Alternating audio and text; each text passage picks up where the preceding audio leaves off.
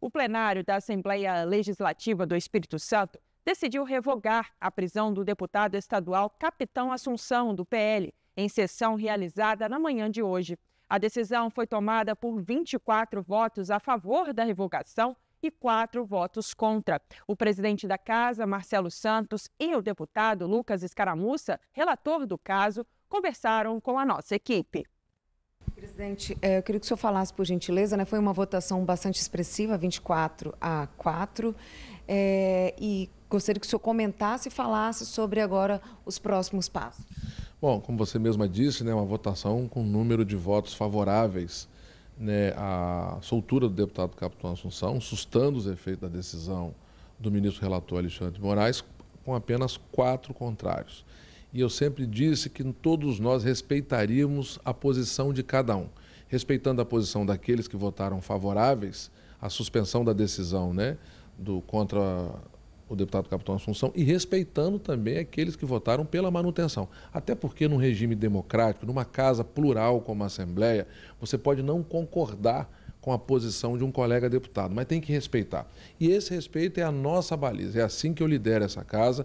Foi assim que nós iniciamos o processo para poder chegar ao final e ter esse resultado, e é assim que eu vou me comportar enquanto eu estiver presidente da Assembleia Legislativa. Quero destacar que, sobre minha livre escolha, determinei a criação e constituição da comissão especial e deleguei, por uma livre escolha, a relatoria e presidência do deputado Lucas Escaramuça, por ser um deputado é, coerente, um profissional do direito competente, que nos daria a segurança necessária ao apresentar o seu relatório para que todos pudessem votar dentro daquilo que ele relatou, levando em consideração que nós não estaríamos enfrentando ali a decisão do ministro relator Alexandre Moraes, e sim cumprindo um papel ditado pelas duas constituições, a federal e a estadual.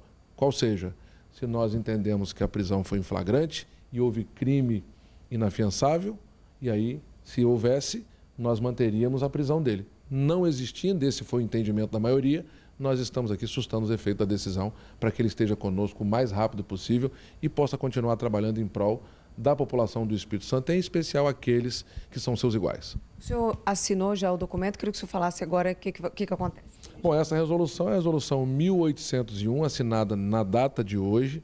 Ela suspende os efeitos da prisão preventiva determinada em face do deputado Capitão Assunção. Eu eh, determinei já a abertura de um diário extra, já deve, inclusive, nesse exato momento, ter sido publicada, fazendo com que os efeitos dela se tornem público.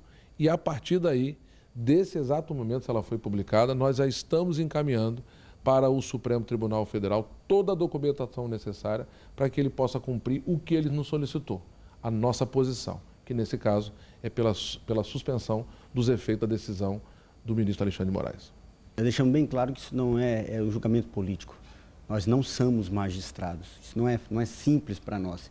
Mas não tem como também, e não tivemos acesso aos autos, eles correm segredo de justiça, tivemos acesso à decisão pontual do ministro.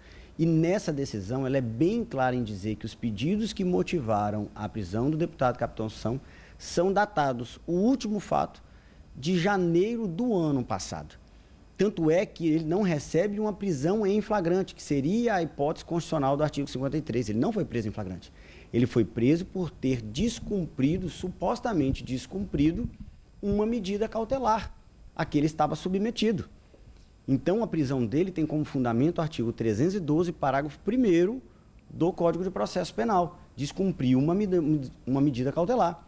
Porém, o próprio parágrafo, o próprio artigo 312 do Código de Processo Penal, parágrafo 2 diz que na prisão preventiva por quebra de medida cautelar, o fato que motivou isso tem que ser contemporâneo, essa é a palavra. E a própria decisão traz que o fato que motivou é de um ano atrás. E mesmo não sendo magistrados, a gente não tem como subjetivamente, nenhum de nós do plenário, fugir a esse fato a essa análise jurídica sobre essa decisão do ministro. Então, com todo respeito, não é, ele foi muito claro quando mandou essa matéria para nós, pedindo que nós analisássemos, nós com o respeito necessário, inclusive fundamentando em decisões do próprio ministro Alexandre de Moraes, decisões do STJ, entendemos que não existiam os requisitos para mantê-lo preso porque não era flagrante e porque não estavam presentes os requisitos da prisão preventiva, que eram fatos contemporâneos. Isso é, uma, é a base central do nosso relatório. E com muita clareza, com muito conforto, a gente se posicionou nesse sentido.